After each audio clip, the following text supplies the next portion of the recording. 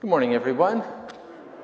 Good to have you joining us this morning. Good to have people joining us online as well. Glad you're present with us. A couple of announcements. Uh, in two, the week after Easter, I'm not sure, that might be three weeks from now, uh, on April 7th, we have Bricktastic Bash. And uh, that's for preschool through fifth grade and their families. They're going to play with Lego blocks and uh, Lego Movie and uh, various things so they can sign up for that event. So that's going to be great. It will be great. This week, uh, the cafe is going to be closed. The after school and Raucous will be canceled for this week. Dan, Dan Bailey's on vacation. And also want to let you know Betty Atkinson died uh, this week on Wednesday, on March 13th. And they're going to have services sometime in the spring. They're going to scatter their ashes on the, on the farm. And uh, never had a service for her husband either, and uh, that'll happen at both times, uh, both together uh, sometime in the spring.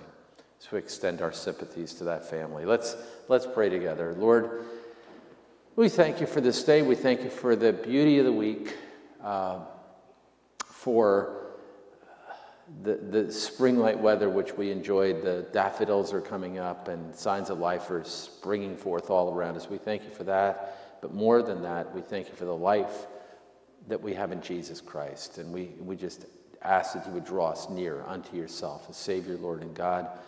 And uh, we do extend, uh, ask that you would just minister to the family of Betty and comfort them and those who grieve her loss. And we thank you again for your love in Jesus and ask your anointing this time of worship. In your name we pray. Amen. Let's uh, stand and say hello to person nearest, please, as we prepare to worship the Lord.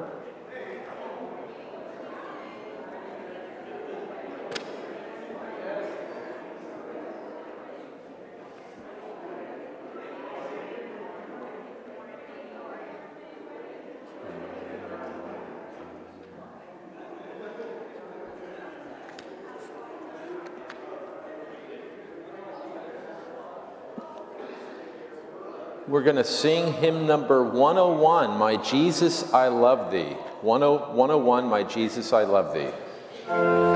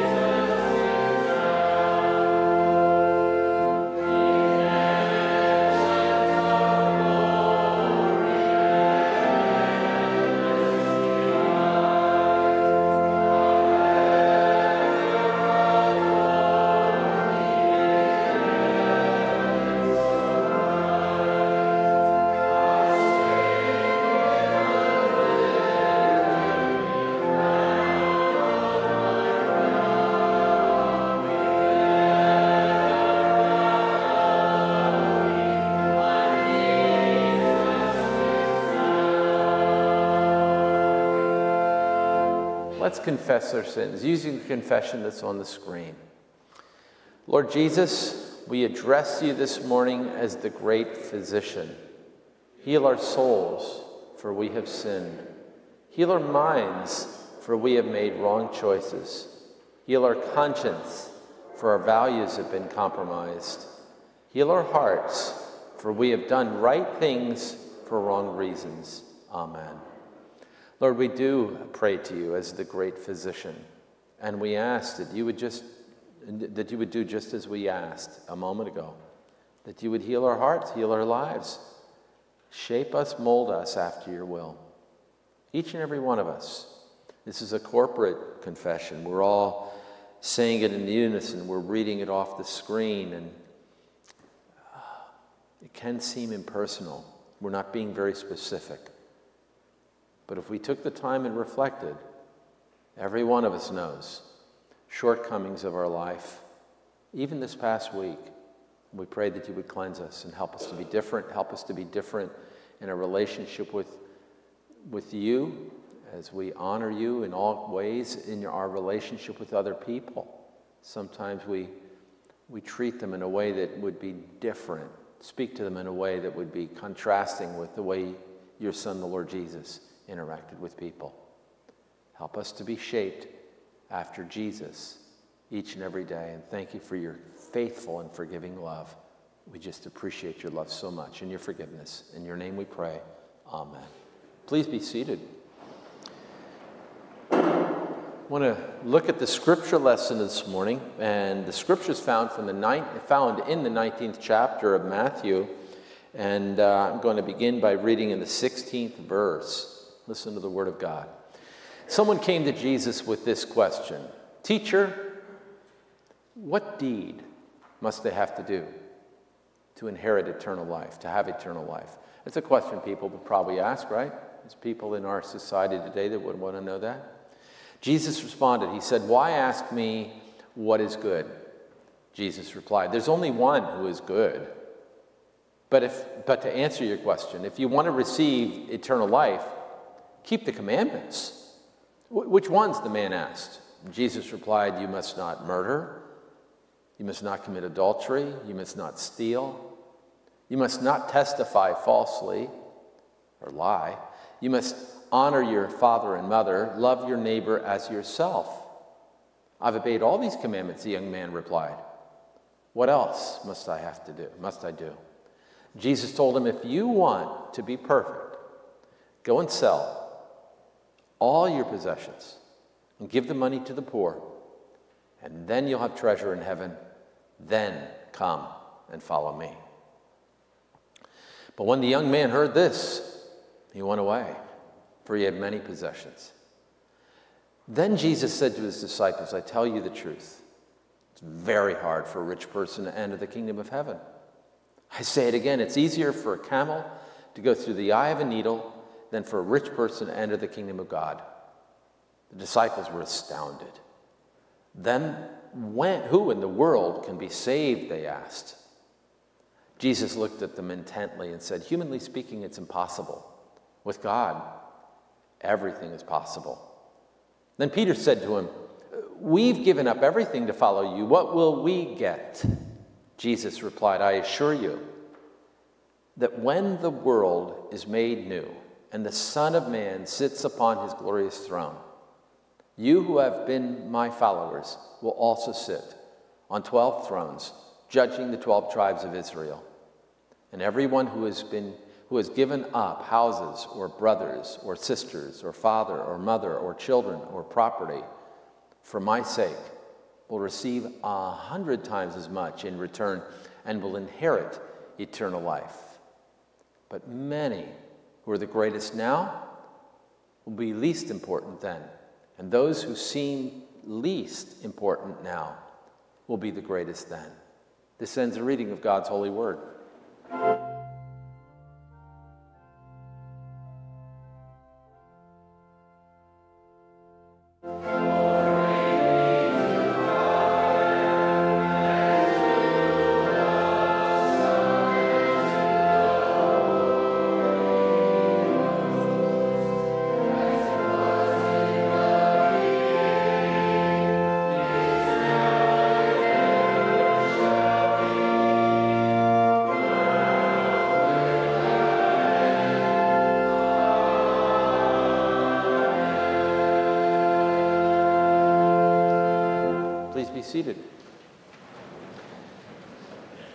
Show a short video clip of a father uh, trying to get his little girl's attention, the child's attention, and uh, her affection.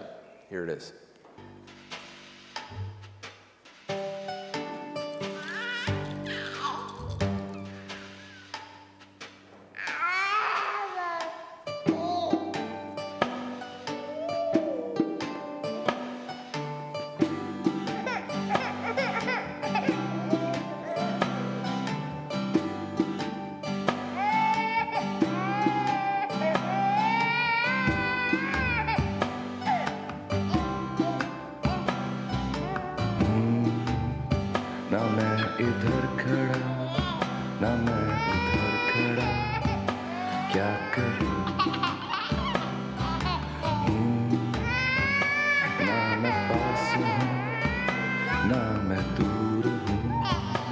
yakaladı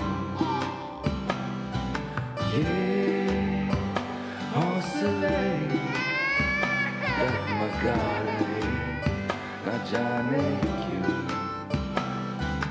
kyun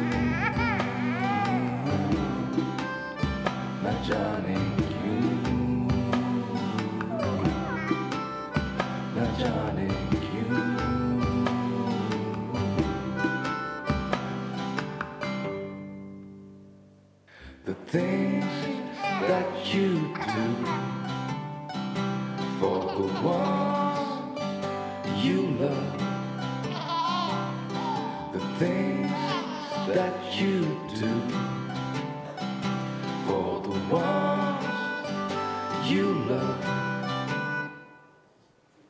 that good?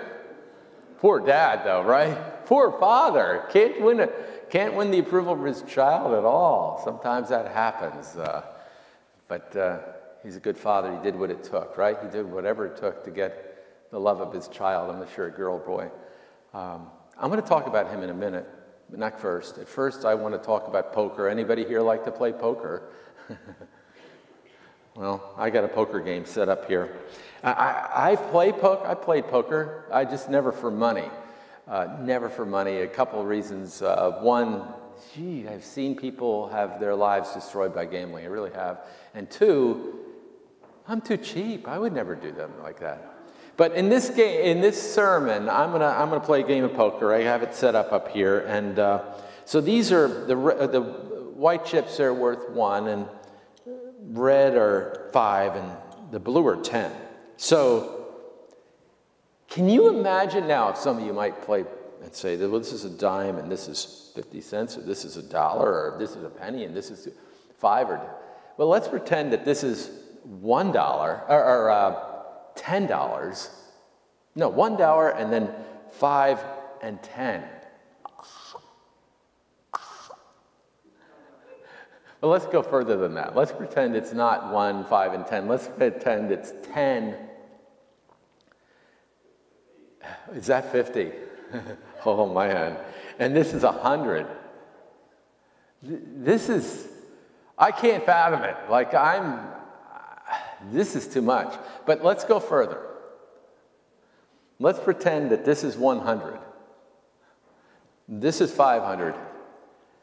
And this is a thousand. Anybody want to play? Like just the thought of this makes me want to run to the bathroom.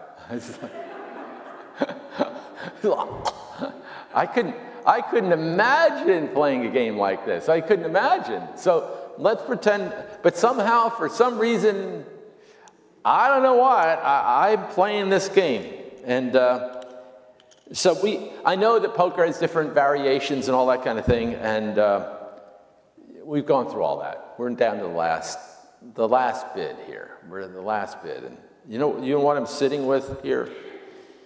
I have a full house eights high. Nothing wild, full house eights wide, high. Whoops.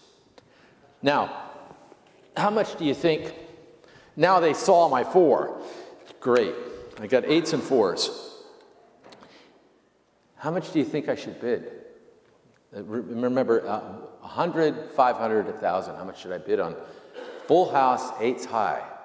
You know how, much, you know how much I'm going to bid? Zero. I'm not bidding a thing. I don't care how good the hand is. I could have a royal flush. I'm not bidding. I, it's like, this is way too much. Let's say that I have to bid. Okay, I, I gotta participate. Somehow, the, the rules of the game is I, I, I gotta get into it. I, I have to play this game and I have to play to win. What am I gonna bid? Well, I'll get back to that. Now I'm to have another interruption. I'm to get back to the father with the mustache. I'm to get back to the poker game. But before I get to the father and the poker game, I want to talk about the story I read a moment ago. So, what happened in the story? A rich man who could play this poker game. Okay, the rich man who could have gotten in on this game without batting an eye. That rich man, that rich man one time came to Jesus with a question. What was his question? He said, and he had, a, he had his checkbook open at the time. And he said to Jesus, Jesus, what do I, what do I have to do to inherit eternal life? That was his question. What, what do I have to do? What's the, what hoops do I have to jump through to, to get in? That's what he wanted to know. And Jesus said this He said, If you want to receive eternal life, keep the commandments. In other words, you got to be good. You want to get in? Obey the commandments be good, and you're, you're going to be okay. The guy said, Which commandments? Which commandments do I have to obey? Can you, can you tell me which commandments you're talking about here? And Jesus replied, You must not murder, you must not commit adultery, you must not steal, you must not testify falsely, you must honor your father and mother, and you must love your neighbors yourself. And the guy is listening to this. And the guy was rich, we know that, but he was also a good man. So he's listening to Jesus, and Jesus says, You must not murder. He says, I've never murdered anybody. And you must not commit adultery. And the guy says, I've been faithful to my wife. Never.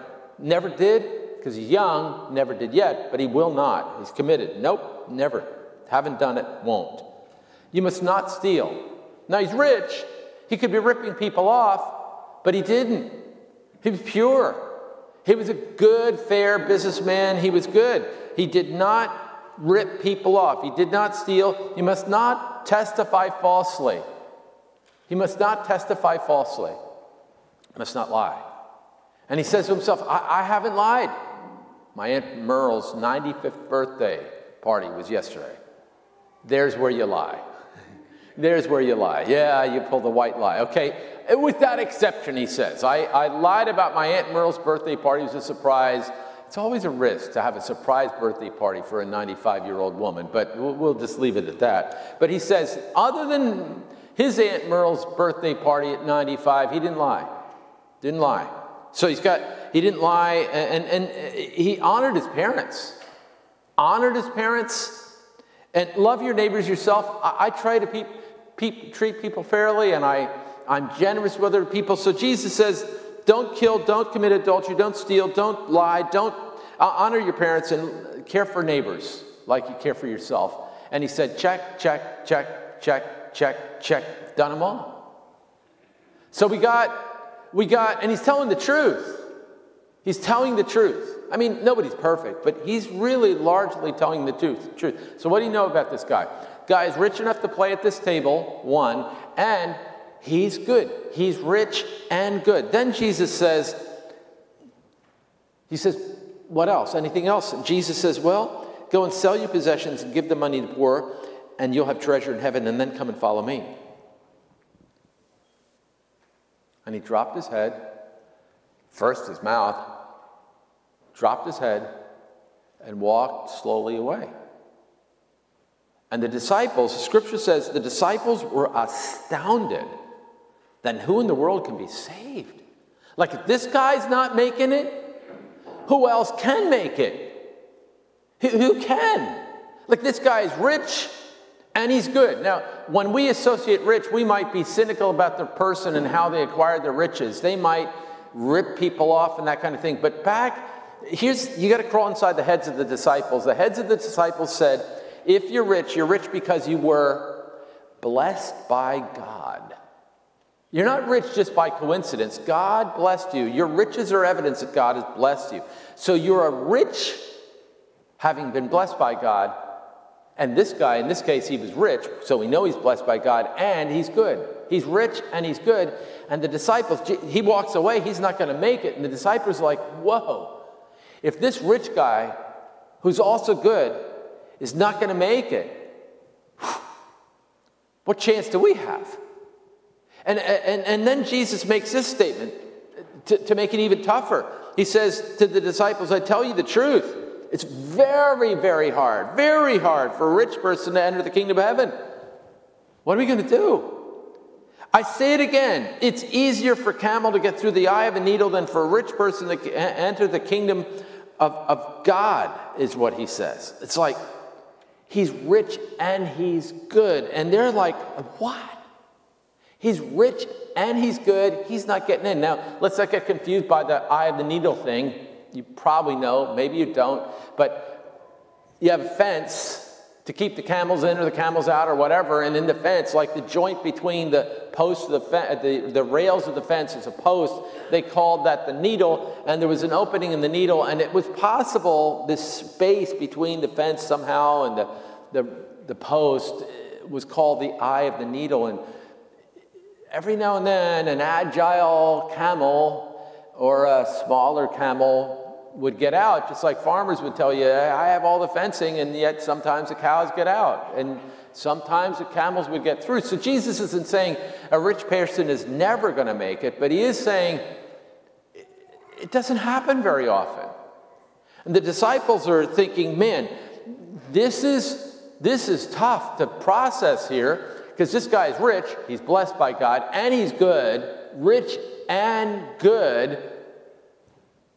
Where does that leave us? Because they're making a comparison to the guy.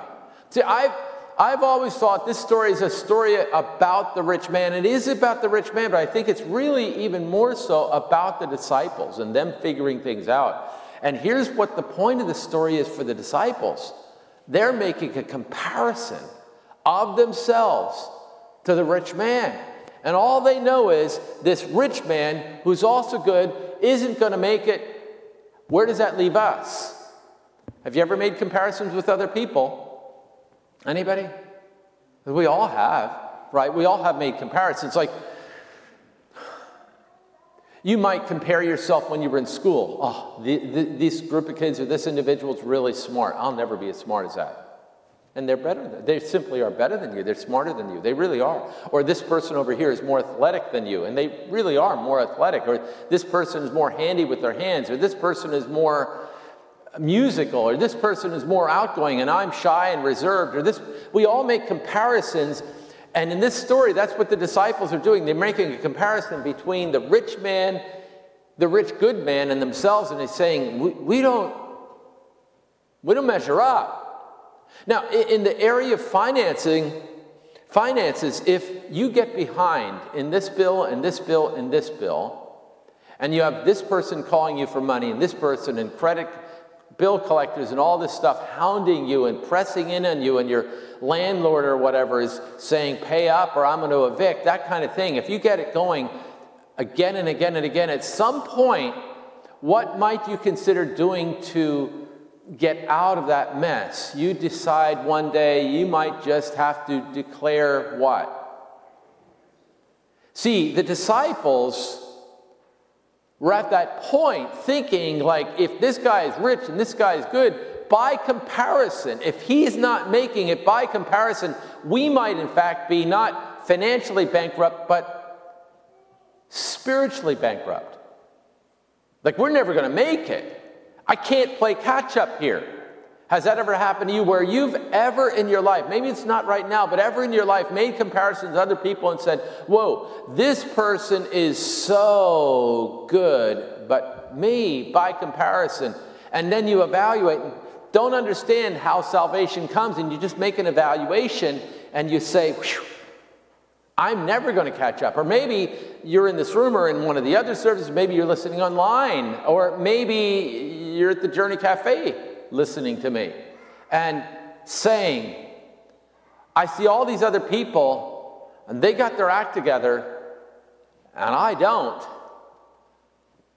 How am I ever, how am I ever going to catch up? That, that's, that's the question. Like, how, how am I going to catch up? I'm not, I'm not measuring up. How do I catch up?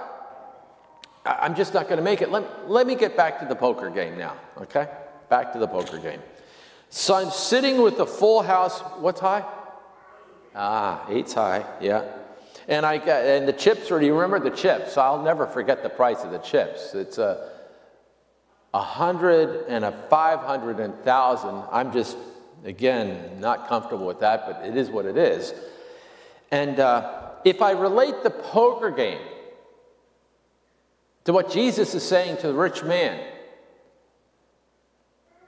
what does Jesus want the rich man to do? That's right. All in. Do you see that? He wants the rich man to go all in. He doesn't want him to hold back. Now, watch this. Listen to the scripture. I'll jump back to the scripture. He says in the scripture, guy says, I've done all these good things. He says, Sell, here's what I want you to do now sell all of your possessions and give the money to the poor, and you will have treasure in heaven, and then come and follow me. And normally, or often, when we read the scripture, we focus in on the money and we think, ooh, all in means, or, or we look at the story and we say, ooh, that means that if Jesus expected this guy to give all his money to God, then we have to give all our money to God. And I would suggest that this isn't just about money, this is about everything. He, he doesn't just want us to give all of our money to Him. Uh, the bigger point is, He wants us to give our lives to Him. Everything. Now, we get to retain money and live life. That's not the point. But He wants us, really, just like in the poker game, He wants, He's calling for the rich man to go all in. The rich man is not willing to go all in. It's not a story about the rich man giving his money. It's much bigger than that. He wants him to go all in. What's he saying? He's saying, you got to go all in. And often, rich people can't go all in Is what he's saying. And he wants the same with the disciples. He wants them, he wants the disciples to go all in. And if you listen to the scripture, again, listen to it again, it says, Sell all your possessions and give your money to the poor, and you will have treasure in heaven. And then what? Then come and what? Follow me. Like whatever I do, whatever I tell you to do. If I say jump, you say how high. I mean, God wants us to be all in in life. Let me get back to the, the father with the mustache. How long did he have that mustache? How long? You know what? When he started getting peach fuzz, he never cut it. Did you see the one point in the video where he held a picture up? Did you see that? Who was that? That was his grandfather. See, that was his grandfather who had a mustache, and I'm sure his father had a mustache, and this guy had a mustache. We've always had mustache, mustaches in our families. This is what we do. This is who we are. This is part of my identity. This is a big deal to me. And yet, he's confronted by this child who's scared of him with the mustache. And he's got to decide what am I willing to do to show love to my granddaughter, to my daughter. What am I going to, what am I willing to do? And what does he do at the end of the video clip? He cuts it off, and what's he doing essentially? He's going all in as a father. He is saying, There is nothing that I won't do for my daughter. Is it easy to go all in? No, that's why the video was two minutes long. He's like trying to, he had the mask at one point, trying to be cute, and then pulls his face out. You know, he's trying, and then finally he realizes no, what is required of me as a father in this situation is to go all in, shave the mustache, and if that's what I'm required to do, then that's what I'm going to do. Jesus asked the same thing of his followers and of, uh, uh, of us. He wants us to go all in. Now, the disciples, they're looking at this guy. Holy crow. He is rich and he's good and he ain't making it. Where does that leave us? And they were, do you remember the word? They were astounded. Like this was, this was an earthquake for them spiritually. Like, where do we stand in this? That's what they're thinking. And Jesus knows they're thinking that. He knows that they've been rattled by this. And so, right after this scripture, it's very interesting. Right after this, this event happens where the guy comes up and he walks off, right after that, do you know what Jesus did next? He told him a story. He always tells them stories, but he knows what they're feeling, okay? And so he wants to speak to this sense of, well, this guy's rich and he's good, and we're never going to make it. They're making the comparison. We're never going to make it. We're, what are we going to do here? He's, he says, and, and they're, they're really unsettled. Like, how do we make it? That's what their question is. How do we make it? This is what he says. He says this. Let, let, let me, let me tell you a story. And he, here's the story. This is in the Gospel of Mark, but the story, the story goes like this. He says, Once upon a time, once upon a time, there was a guy who owned a vineyard, and the, it was time for the grapes to be harvested. And you can't mess around with the grapes. They need to be harvested.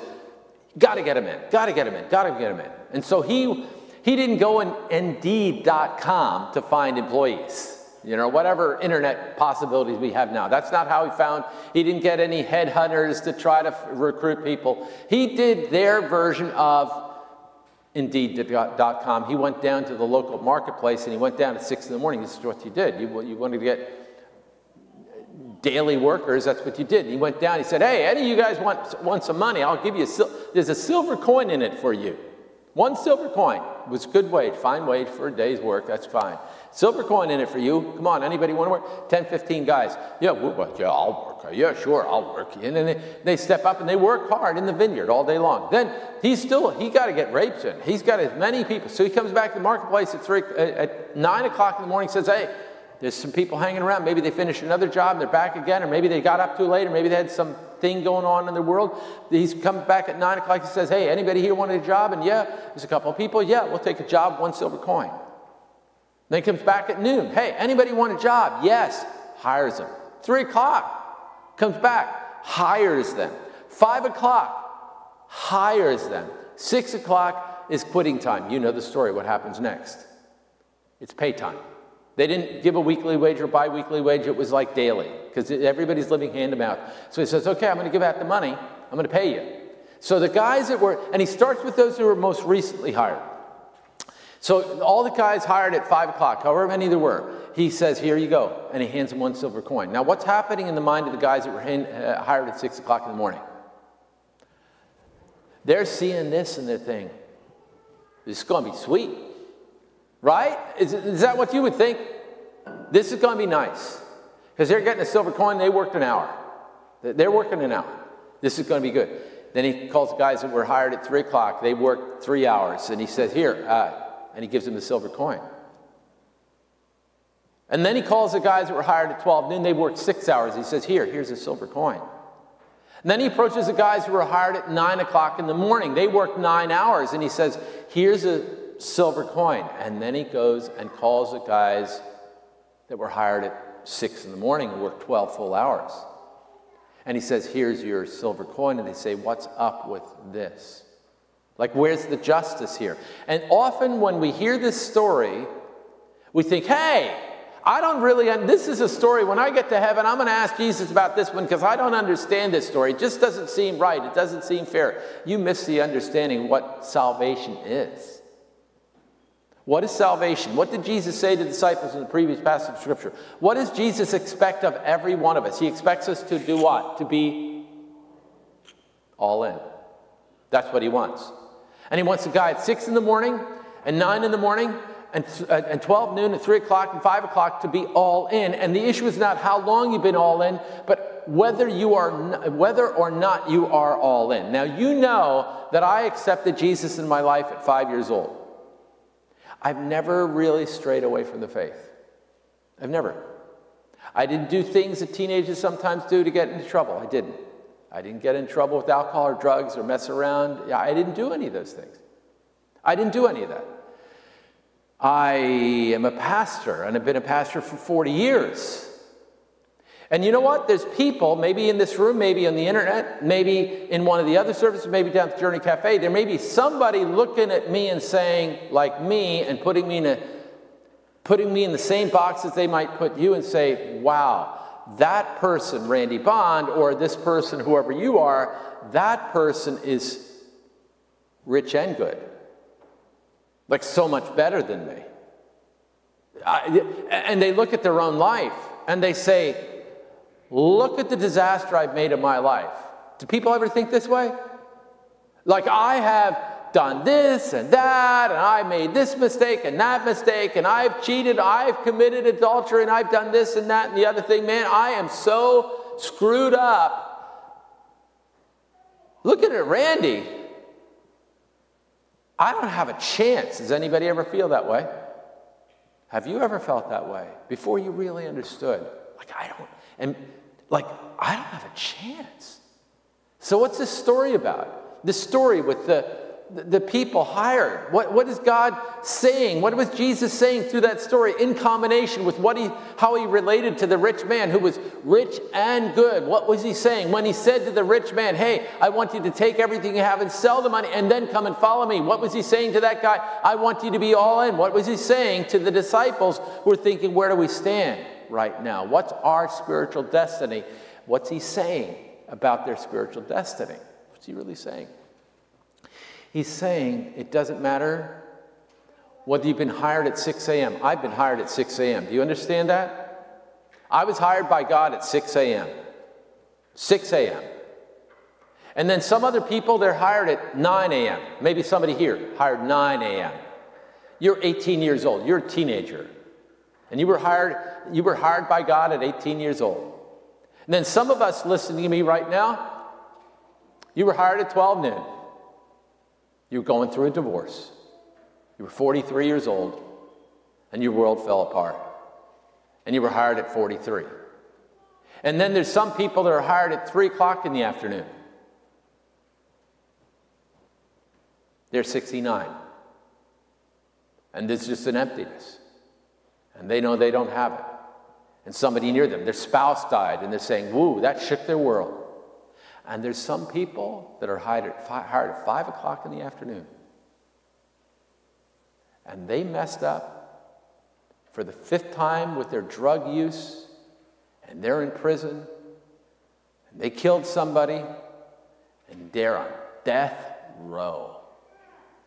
And compared to me, who's worked since 6 o'clock in the morning, and they're on death row, having done all the stuff that they've done, knowing the dysfunctionality of their own family system compared to mine, which was perfect, relatively speaking. What chance do they have? And the dysfunctionality of this child from this woman and this child from this woman, well, how do they stand a chance? How do they stand a chance? And maybe, maybe there's somebody here listening to me right now in this room or in one of the other services or on the internet at or at the Journey Cafe. Maybe there's somebody listening to me right now and saying, Yeah, what chance do I have? What chance do you have? What did Jesus' story mean? He said, You can be hired at 6 a.m., you can be hired at 9, you can be hired at noon, you can be hired at 3, you can be hired at 5. Here's what I want you to do. When you are hired by God to serve Him, here's what I want you to do I want you to go all in. All in. All in. From this point on. But I haven't been all in. It doesn't matter. We're looking at this moment right here, right now, all in this point forward. No matter where you are in life, no matter what you've done, all in this point forward. So as I'm looking at this room right now, and anticipating speaking to the other groups, the, the other services, and the internet crowd, you and the people at the Journey Cafe, because we'll take this service and capture it and pass it on to them or the other services. Where are you at? Where are you at? Now, here's what sometimes can happen. I was hired at 6 in the morning, and 3 o'clock in the afternoon has come.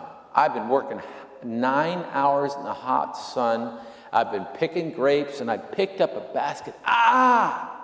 My back hurts. See, sometimes problems happen in life. And from three to six o'clock, quitting time, ah, like something happened to mess me up. And I'm, and sometimes those of us who have been hired at six in the morning get disillusioned with God. And you know what? We were at one point all in, but we take some of these back. I'm not as all in as I was once was. If that's you, if that's you, you pulled some chips back, I'm, gonna challenge, I'm challenging you right here, right now. And those of you listening to me, I challenge you right now today to decide, no matter what's happened in your life, what God is calling for you to do is go all in. Right now, today. to go all in with Him. You know where you stand with God. You know where you stand. And there's no, con- now I'm raising my voice a little bit, that is not meant to communicate uh, judgment or criticism. It's representing challenge. It matters not what you've done, not that you've fallen off the wagon for Jesus. It doesn't matter. That's not the issue. Right now, today, the moment is for you to get all in with Him. Are you all in with God right now? You have an answer in your mind. I'm challenging you. If the answer is no, now I know truth, I'm challenging you. Come on now. Come on. Get back in the saddle. Or maybe there's somebody listening to me in this room, or somebody listening to me in the internet, or somebody's going to listen to me at Journey Cafe, or somebody's going to listen to me in one of the other services. Maybe there's somebody listening to me right now that has never been in with God and they, they've messed up and then they try. They really try. Yeah, Jesus mentioned these commandments. From here on in, I'm not going to commit adultery. And from here on in, I'm not going to kill anybody. From here on in, I'm not going to do these. I'm not going to lie anymore. And then they, they fall off the wagon again. They fall off the wagon of intent and they mess up again. Again, and, and now again, and now again. And I'm saying, you can't do it in your own effort. At some point, you need to fall on your knees before Jesus and say, Jesus, I don't know why you would, but I believe you love me. I believe you love me. And I know I've messed up. I've messed up big or I've messed up small, including me. But we've all messed up. We've all sinned. Every one of us needs to pray their confession of sins every week. Every one of us. Nobody's accepted, exempted from that. I know you love me, and I know I've sinned, and I know I can't make it on my own today. Lord Jesus, never done this before. Today, I open the door of my life to you. Come in, please, today. And from this point on, I'm going to be all in. By your power of your Holy Spirit, and we be all in. So I would like to invite you to pray. You know where you stand with God right now. That's not, I'm not calling out anybody. So you don't, there's no point to lying inside your head. There's no point to lying. You know where you're at, right? You know where you're at. No point to lying to yourself. God already knows what's going on inside your head. Have you drifted away from Him and you're not at this moment all in? If you're not, let's make that right today. Or if somebody's, if I'm speaking to somebody and you've never invited Christ into your life and acknowledge that your salvation comes not from your good efforts, but by the shed blood of Jesus Christ on the cross. You've never done that? Pray and invite Christ into your life and go all in with Him. You ready? You ready? This is why Jesus had these experiences and told these stories. This story was not about the rich man, and it actually wasn't about the disciples. It was about you. And the, and the, the workers that were hired at 6 and 9 and 12 and 3 and 5, that wasn't about those people. It's about you. Today's the day to go all in with Jesus. Let's pray together as we close. Lord God, I, I pray right now that you would be enabling people in this room and people listening to me to pray sincerely to you in their own way. For those who have never invited you into their life before, right now, Lord, help them to pray in their spirit. Lord, thank you for loving me. I have sinned. You know how. I'm ashamed. But you've sent your Son, the Lord Jesus, to die on the cross for the forgiveness of my sins. Today I open my heart to you. Come in. And for all of us, all of us, whether we just prayed that prayer or whether we've been a Christian from six o'clock in the morning, Lord, hear us when we say, we want to be all in with you. All in. No holding back. that has something to say about how we use our money, then so be it. And that has something to say about how we use our time, then so be it. If, if being all in with you means responding and stepping out of our comfort zone, then so be it. We want to not just hear your word, we want to follow you. We want to be followers. We want to be all in with you. Help us. Help us. We fail so often, fall short so often. Help us to be all in with you. In Jesus' name we pray. Amen.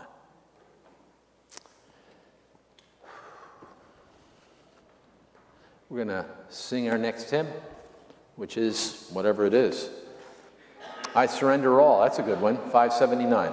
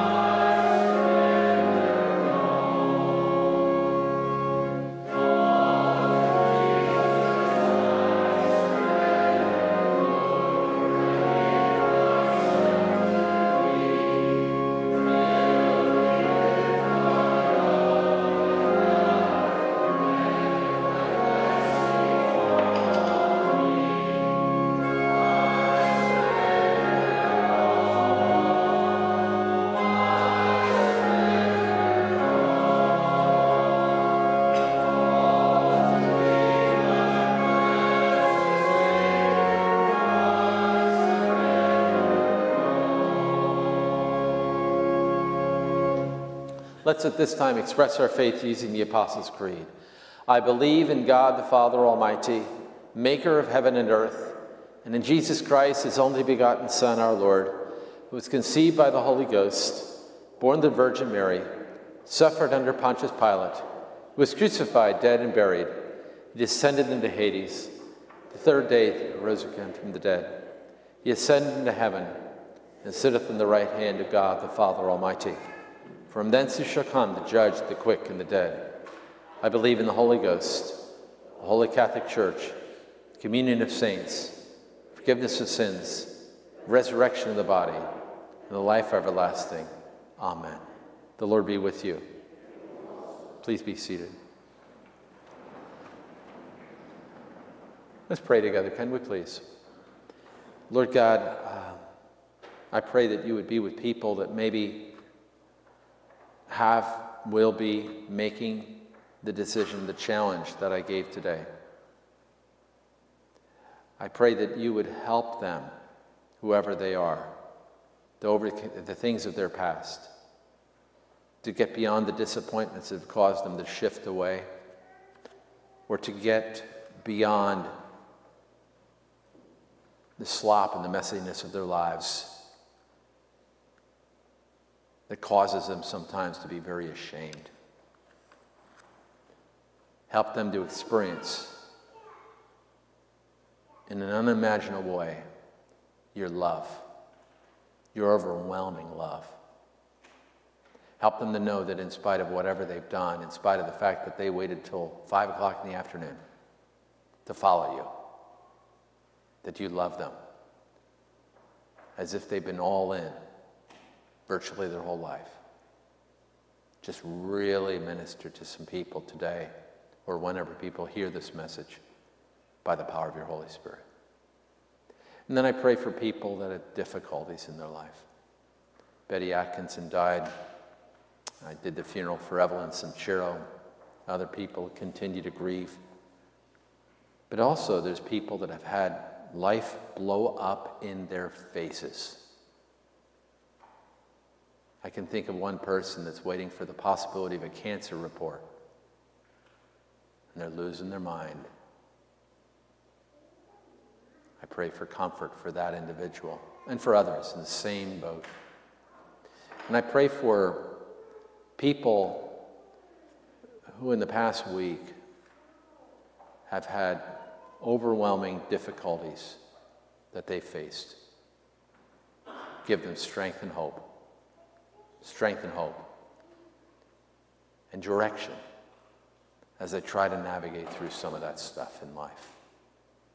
Just minister, Lord, by the power of your Holy Spirit. And thank you at the same time for all the blessings of life. All the blessings. We have two of our grandchildren with us and our son with us last night into today. Spend a little time, eat a lunch with them. And first thing Ben wanted to do was have a campfire. And we had a campfire at s'mores. Thank you for the joy that comes to us in our lives. We all have elements of joy. We have challenge, we have elements of joy. That's mine. It's one of mine. We all have elements of joy. Thank you. Be with those who are struggling. Be with those who are just deciding, I want to go on with it, all in with you. And thank you for the many blessings. Thank you most of all for the presence of your Son, the Lord Jesus Christ and his willingness to die on the cross for us in whatever state we've been so that we could become followers of yours and be transformed forever and one day come into your heavenly kingdom. Thank you for your love. Hear us now as we pray the prayer that Jesus taught us to pray. Our Father, who art in heaven, hallowed be thy name. Thy kingdom come, thy will be done, on earth as it is in heaven. Give us this day our daily bread and forgive us our debts as we forgive our debtors. Lead us not into temptation, but deliver us from evil. For thine is the kingdom, and the power, and the glory, forever. Amen. Let's stand and sing our concluding hymn 489 Jesus paid it all. 489 Jesus paid it all.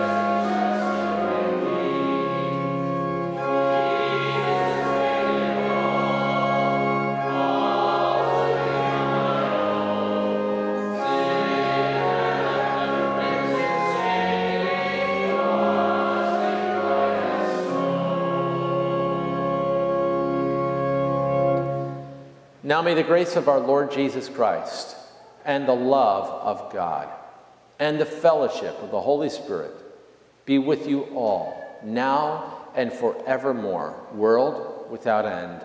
Amen.